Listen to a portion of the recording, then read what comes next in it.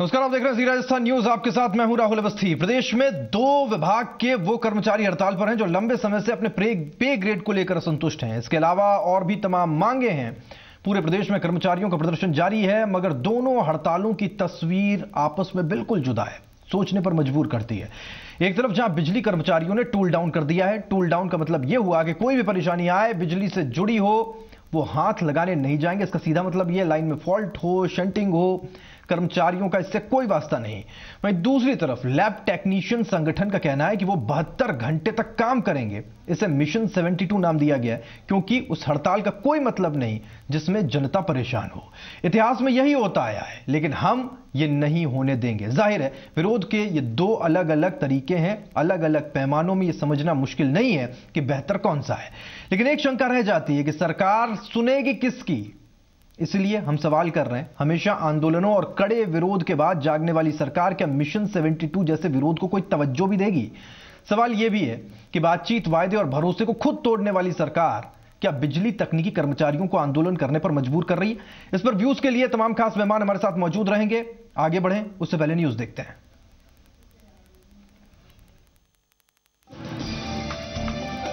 एक जैसी मांग, लगभग एक जैसी दशा। और एक जैसी जिद। लेकिन नीयत में ज़मीन आसमान का फ़र्क।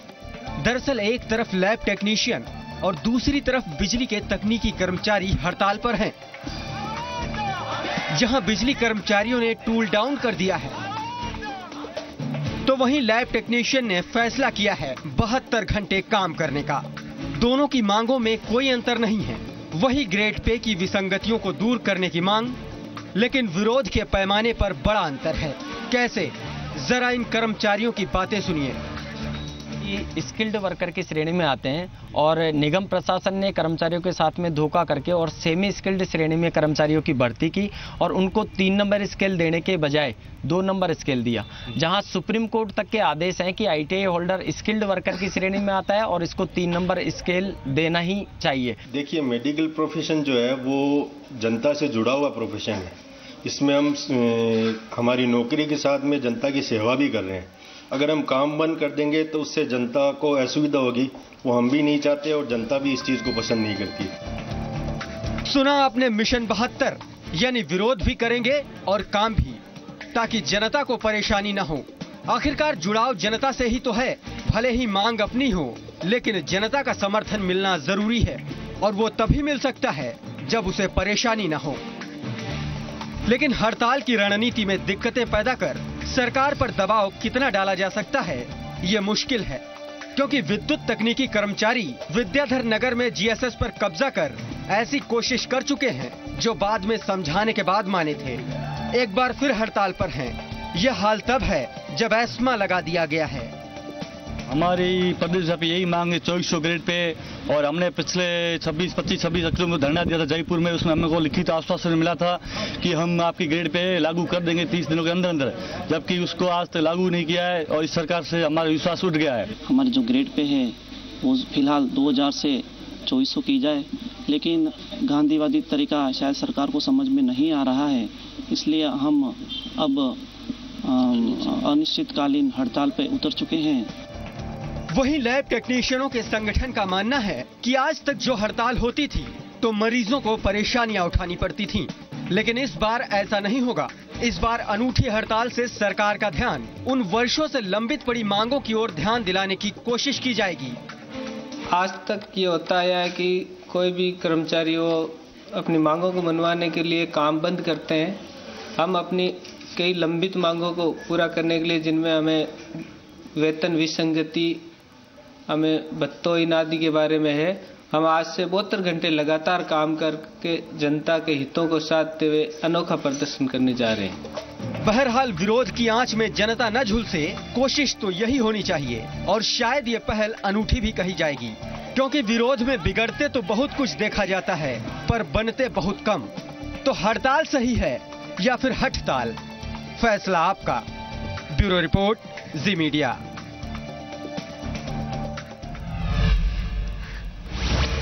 और व्यूज़ के लिए तमाम खास मेहमान हमारे साथ जुड़े हुए हमारे साथ महेश कुमार सैनी है, Akhil Rajasthan medical laboratory association के प्रदेश मीडिया प्रभारी हैं। मैं बहुत स्वागत करता हूँ आपका सैनी साहब। हमारे साथ अर्चना शर्मा जी जुड़ी रहेंगे, प्रदेश उपाध्यक्ष कांग्रेस की। अर्चना जी, आपका बहुत स्वागत। मदन राठौड़ साहब बीजेपी से हमारे साथ होंगे, उप मुख्य सचेतक हैं राजस्थान सरकार के। राठौड़ साहब, मैं आपका स्वागत करता हूँ। सबसे पहले राठौड़ साहब, मैं आपके पास में आता हूँ। देखिए, होता क्या ये बहुत बड़ी विडंबना है, इसे समझना भी बहुत ज़रूरी है। कि जब कोई मिशन 72 लेकर के आगे आता है या इस तरह से हड़ताल करता है, जिससे किसी को कोई परेशानी नहीं हो, बल्कि सुविधा बढ़ जाए तो सरकारें सुनती नहीं है, क्योंकि सरकारें आदतन है विरोध के प्रदर्शन के। क्या आप उन लोगों की सुनोगे भी? उनके आंदोलन को तवज्जो दोगे? कहीं ऐसा ना हो कि वो भी टूल डाउन जैसी हड़ताल करने पर आमादा हो जाएँ। देखिए साहब, मेरा व्यक्तिगत मानना तो यह है कि जो विरोध तो दर्ज करेंगे और काम भी करेंगे पहली तवज्जो उनको निश्चित रूप से मिलनी हम्म। चाहिए। बहुत अच्छा एक अनुकरणीय उदाहरण इन्होंने प्रस्तुत किया है कि जनता को परेशानी नहीं हो। इसलिए ये बात तो बिल्कुल सही है इसकी प्रशंसा हम्म। की जानी चाहिए और कहीं भी किसी भी प्रकार का कहीं को किसी को विरोध करना है तो उसका ये तरीका यदि अपनाया जाए जो एक परिवार की भावना को ध्यान में रखते हुए कि परिवार में कोई भी सदस्य विरोध दर्ज करवाता है तो वो चुपचाप काम पर लगा रहता है काम पर लगा रहता है। तब परिवार का जो मुखिया है निश्चित रूप से उसकी चिंता करता है उसकी सेहत की भी चिंता करता है और उसकी बात को महत्व देना ये ठीक रहता है। और जो विरोध करने विरोध के साथ में जनता को परेशान करता है तो थोड़ा बहुत इरिटेशन तो होता ही है उसके प्रति। इसमें कोई दो राय नहीं है। हम्म। मतलब आप सुनोगे? मैं आपकी व्यक्तिगत राय नहीं मैं सरकार की राय जानना चाहता हूँ। राठौड़ साहब। नहीं नहीं सर निश्चित रूप से सरकार भी तो व्यक्तियों से ही बनती है तो सरकार कभी भी इतनी लापरवाह नहीं होगी। निश्चित रूप से इनकी बात को ज़्यादा महत्व दिया जाएगा। वैसे उनकी बात को भी हम ऐसा नहीं है कि नजरअंदाज करेंगे। जनता को भी परेशान करना ठीक नहीं है लेकिन एक जो तरीका अपनाया है मैं इस तरीके की प्रशंसा करना चाहूँगा कि जो इस लैब टेक्नीशियन ने तरीका अपनाया है ये वास्तव में एक अच्छा तरीका हम्म। है विरोध दर्ज करवाने का। बाकी तो सरकार तो गंभीर है सबकी अर्चना जी आपके पास सबसे पहले सैनी साहब हमारे साथ जुड़े हुए हैं जो Akhil Rajasthan medical laboratory association से है। मैं एक बार सनी साहब आपके पास में आता हूँ। देखिए अक्सर लेबर क्लास जो लेबर क्लास होती है इसमें सब लोग होते हैं वो कहते हैं जब कोई गधा मजदूरी कर रहा होता है तो उस पर कोई ध्यान नहीं देता क्योंकि उसका काम है करना। आपने कहा कि आप बहत्तर घंटे लगातार काम करेंगे। आपको क्या इस बात का डर है? कहीं कि आपका यह विरोध कारगर हो भी पाएगा या फिर नहीं? क्योंकि सरकारें अक्सर तब जागती हैं जब पटरियाँ उखाड़ दी जाती हैं। काम नहीं हो रहा होता है, उनके सीने पर मूंग दलना शुरू कर देते हैं जब कर्मचारी।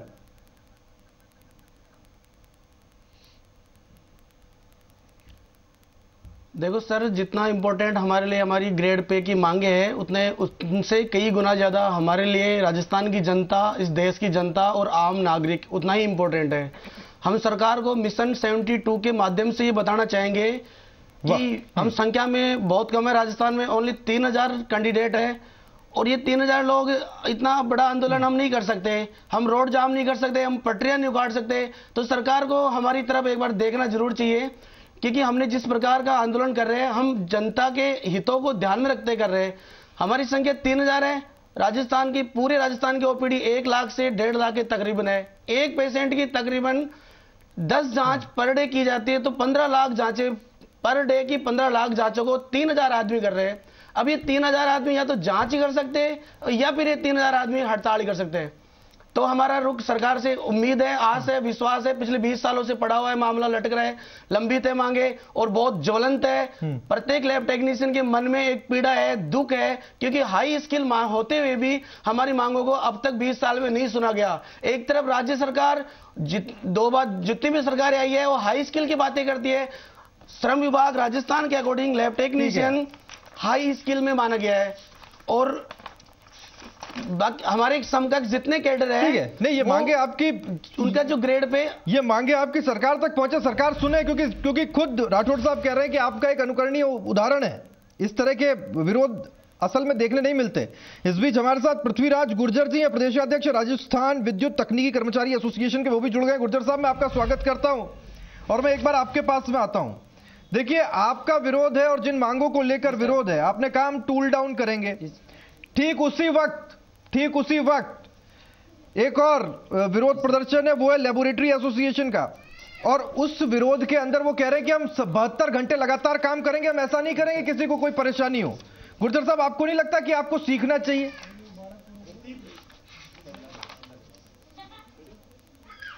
जी हमने जितने भी आज से पहले के जितने भी प्रदर्शन किए हैं पूर्ण रूप से गांधीवादी तरीके से किए हैं और जो सिक्स पे कमीशन की जो खामियाँ थी जो 2007 से लगातार कर्मचारी भुगत रहे हैं और उसके लिए हमने सरकार का ऐसा कोई दिन नहीं छोड़ा जिस दिन हमने सरकार को याद नहीं दिलाई हो या हमारे मंत्री महोदय को याद नहीं दिलाई हो या हमारे प्रशासनिक अधिकारियों को याद नहीं दिलाई हो। तो जब कर्मचारी जब परेशान हो जाता है ऊपर से सिक्स पे कमीशन में तो हमने जितना भी घाटा सहन किया बिल्कुल कर लिया। लेकिन सेवन पे कमीशन जनवरी 16 से लगना है तो वो एक बहुत बड़ा घाटा होगा जो कर्मचारियों के लिए असहनीय होगा। तो इसकी वजह से हमें मजबूरन इस तरीके का कदम उठाना पड़ा है और माननीय ऊर्जा राज्य मंत्री और माननीय उद्योग मंत्री गजेंद्र सिंह जी क्यूसर साहब की अध्यक्षता में जो मीटिंग हुई थी उसमें उन्होंने हमको प्रिंसिपल सेक्रेटरी की लेटर पैड पे राइटिंग में दिया था और हमें पूर्ण विश्वास दिलाया था कि हम राजपूत है अपने वादे से अडिग रहेंगे अपने वादे के ऊपर अडिग रहेंगे। और उसके बावजूद कर्मचारियों की मांगे तो पूरी नहीं की ऊपर से रेशमा और लगा दिया विभाग के ऊपर। तो कहीं न कहीं कर्मचारियों में बहुत ज़्यादा आक्रोश। ठीक है। अर्चना जी अर्चना जी, मैं आपके पास में आता हूँ। देखिए, दो अलग अलग चीज़ें हैं। अपने आप में देखिए, सैनी साहब की बातें जब आप सुनेंगी तो आपको लगेगा कि ये पहला चरण है। और जब आप गुर्जर साहब की बातें सुनेंगी तो आपको लगेगा कि अतिवाद इसलिए हो गया क्योंकि किसी ने सुनवाई की, नहीं सुना नहीं। क्या सरकारों ने ये आदत डाल ली कि जब तक हालत बिल्कुल एक्सट्रीम नहीं हो जाए, तब तक हम सुने नहीं, हम सुनेंगे नहीं। अगर शुरुआत में सुन ली जाए, जायज़ मांगे तो फिर ये टूल डाउन जैसी नौबत आए क्यों? देखिए राहुल, आपकी जब रिपोर्ट मैं सुन रही थी, उसमें दो शब्दों का इस्तेमाल हुआ, हड़ताल और हड़ताल। तो जो टेक्नीशियन है लैब टेक्नीशियन है, वो तो हड़ताल की स्थिति में है। और जो बिजली कर्मी है, ये हड़ताल की स्थिति में आ गए। उसका कारण सिर्फ़ इतना सा है कि इन्होंने खुद स्पष्ट किया कि संख्या बल को भी देखें और जो इनकी संवेदनशीलता उसको भी देखें। तो उस मद्देनजर इन्होंने यही उचित समझा कि जो कि आवश्यक स्वास्थ्य सेवाओं से जुड़ा हुआ इनका पेशा है तो ऐसे में यदि हड़ताल पर ये चले जाएँगे और जो पेशेंट्स हैं उनको तकलीफ़ होगी तो इनका मन नहीं मांगा कि उस तरह की कोई बात करें। लेकिन ये मान करके चलिए ये सरकार जो संवाद करने में बिल्कुल गुरेज रखती है उसको कोई सरोकार नहीं किसी भी कर्मचारी की नाराज़गी को अटेंड करने का उनसे संवाद करने का उसके समाधान निकालने का। तो ऐसी अवस्था में इन्होंने शायद एक बार सोचा होगा कि हम बहत्तर घंटे लगातार काम करके और एक प्रयास करके देखते हैं लेकिन यदि वो सफल नहीं हुए तो निश्चित मानिए ये भी हड़ताल से हड़ताल पर जाएँगे। रही विद्युत कर्मियों की बात तो आपने देखा कि अगर पिछली बार इन्होंने जिस प्रकार से टूल डाउन करके और अंधेरा पूरा कर दिया था राजधानी में तो वो सरकार की विफलता की श्रेणी में आता था। तो सरकार सावचेत हो गई। इनकी समस्याओं को लेकर नहीं इनकी समस्याओं के प्रति संवेदनशील होकर के नहीं सिर्फ़ अपनी कमज़ोरी को दबाने के लिए अपनी विफलता पर एक और मोहर लग जाए सरकार की दूसरी वर्षगांठ से पहले तो उससे सरकार सावचेत होकर के और रेस्मा लगा रही है। तो ये सारी स्थितियाँ बयां करती है कि ये सरकार जो है ना तो जनता के प्रति संवेदनशील है ना किसी प्रकार का कोई जो ग्रुप है वो जाकर के सरकार से अपनी नाराज़गी व्यक्त करता है अपनी मांग अर्चना तो जी कह रही बात को हैं पहले तो आप वायदे करते हैं। जब स्थितियाँ ऐसी बन जाती हैं जब हड़तालें हो जाती हैं और उसके बाद में प्रदर्शन होते हैं और जब एक्सट्रीम सिचुएशन बनती है तब आप वायदे करते हैं। फिर अपने ही वादे से मुकरते हैं। ठीक है और उसके बाद में वो लोग वापस मजबूर होते हैं हड़ताल पर जाने के लिए। आप एक ऐसा कानून का ऐसा कानून अप्लाई कर देते हैं जिससे वो कहीं के नहीं रहते। देखिए, एक बात आप समझिए, विषय तो यहाँ यह था कि कौन सा तरीका श्रेष्ठ है? और अर्चना जी इसमें राजनीति ले नहीं, नहीं, आई लेकिन कोई बात नहीं है कोई चिंता की बात नहीं है। राजनीति के मामले में भी देखें आज तक संवेदनहीन रही है तो कांग्रेस सरकार रही है। हम संवेदनशील है हम पूरी चिंता कर रहे हो। तो हमने हर विषय पर। देखिए 26 अक्टूबर को जो बातचीत हुई। मैं आपसे एक बात बताना चाहूँगा 26 अक्टूबर को जो बातचीत हुई उस बातचीत पर सरकार ने गंभीरता से विचार करके चिंतन करके सरकार ने और वित्त आयोग को और वो रिपोर्ट अपनी भेज दी निश्चित रूप से प्रक्रिया का एक हिस्सा है टाइम लगता है। जब तो 26 अक्टूबर को जो चर्चा हुई उस चर्चा पर जो इनकी मांग थी उस मांग पर चिंतन करके और सरकार ने विषय वस्तु को समझ करके विचार निर्णय करके और वित्त विभाग को भेज दिया। अब वित्त विभाग के वहाँ की प्रक्रिया है उस प्रक्रिया में से जो निकल करके आएगा उस पर निर्णय होने वाला है और इसमें इस समय जो ये तरीका अपनाया गया कि मैं सोचता हूँ कि कांग्रेस को भी हवा देने की कोशिश नहीं करनी चाहिए। कांग्रेस हमेशा आंदोलित करने की कोशिश करती है। अस्थिरता पैदा करने का वातावरण पैदा करती है। ये का कांग्रेस के लिए शर्मनाक स्थिति है। है और मैं ये चाहूँगा कि कांग्रेस को बीजेपी किसी की आंदोलन क्या जो को विद्युत कर्मचारी या तकनीक कर्मचारी उन्होंने पेशेंस नहीं रखा। आप ये कहना चाह रहे हैं? पक्ष उनको ऐसा नहीं करना चाहिए था। ताकि इनको न्याय मिल मैं एक बात आपसे कहूँ कांग्रेस हमेशा भड़काऊ वातावरण पैदा करने का प्रयास कर रही है मैं सोचता हूँ अर्चना जी मैं आप आपकी प्रशंसा करता हूँ हो, लेकिन आपको इस प्रकार से। भड़काने का और राठौड़ जी। नहीं करना चाहिए और आप क्या कहने लगी हैं नहीं नहीं अर्चना जी है। ये कहने लग गई कि ये जो आप लैब टेक्नीशियन है इस तरह की बातें कर रहे हो नहीं, नहीं, मैं आप- है? आप सुनिए। कर्मियों को भड़काया आप सुनिए आपको केवल ये अरे मैं ये पूछ रहा राठौड़ साहब आपसे मेरी बात तो सुनिए बात करना राहुल जी हाँ राहुल जी। पूछिए हाँ राठौड़ साहब मैं ये कह रहा हूँ आपने बोला प्रक्रिया में वक्त लगता है। आपने बोला प्रक्रिया में वक्त लगता है। क्या इनको समझाओ क्या विद्युत तकनीकी कर्मचारियों ने पेशेंस नहीं रखा इसका मतलब हम ये समझे? देखिए मैं आपसे एक बात बताऊँ। जब सरकार ने जो इनके साथ में कर्मचारियों के साथ में कांग्रेस सरकार के- अक्टूबर 26 को जब चर्चा कर ली के समय पर और उस चर्चा पर जो निर्णय हुआ उसके बाद में समय पर इन्होंने निर्णय किया। और निर्णय करके और एक महीने का इनको टाइम दिया था उस समय में वित्त विभाग को भेज दी। और जब सर, सरकार गंभीरता से चिंतन कर रही है ये कांग्रेस भड़काने का काम कर रही है। पता नहीं ठीक है। कांग्रेस को कब शर्म आएगी? ठीक ठीक। ये थोड़ा तो कांग्रेस। कांग्रेस सरकार के वक्त का भी बताना चाह रहे में हैं गुर्जर साहब कुछ कांग्रेस सरकार के वक्त का भी बताना चाह रहे हैं। जी मैं ये कहना चाह रहा था कि पिछले 16 जून 2013 को हमारा उद्योग मैदान के अंदर अधिवेशन था और उसमें हमारे 16,000 कर्मचारी साथी ने शिरकत की और माननीय तात्कालीन ऊर्जा मंत्री जी डॉक्टर जितेंद्र सिंह जी आए थे और उन्होंने मंच पे से घोषणा की थी हमारी ग्रेड पे की पदनाम बदलने की। और उसके बाद में उन्होंने उसके ऊपर कोई कार्रवाई नहीं की। कोऑर्डिनेशन कमेटी से ज़रूर उन्होंने पारित किया था हमारा जो मुद्दा था वो। और अ, कोऑर्डिनेशन कमेटी से पारित करने के बाद में हम 25 सितंबर से और अ, 4 अक्टूबर तक हम उद्योग मैदान के अंदर भूख हड़ताल पे थे।